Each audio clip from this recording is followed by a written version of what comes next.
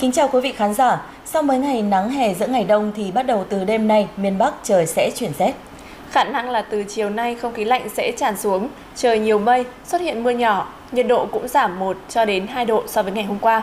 Đợt rét này sẽ kéo dài đến cuối tuần, hầu hết đều dưới 19-20 độ C.